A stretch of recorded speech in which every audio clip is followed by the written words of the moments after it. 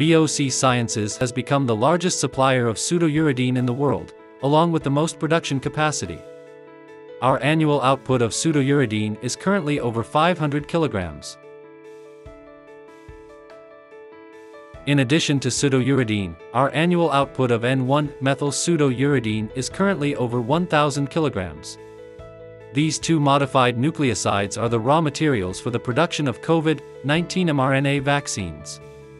The purity of our products is up to 99% with low ionomer level.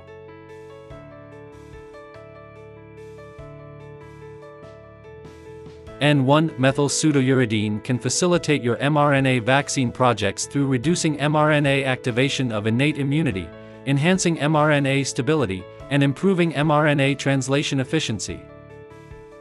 As the largest supplier of pseudouridine in the world, our pseudouridine phosphoramidite and its derivatives have a competitive price. We can easily satisfy any needs for this category. M7GDP is another one of our key products. It is a building block used in the synthesis of mRNA cap analogs. Additionally, it is the raw material used in the cap analog synthesis to the 5' end of the mRNA vaccines.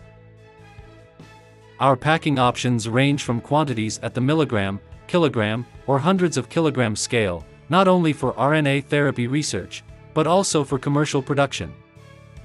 If you need any of these products, please contact us directly, we would offer you professional services for a great quote, quick feedback, and timely delivery.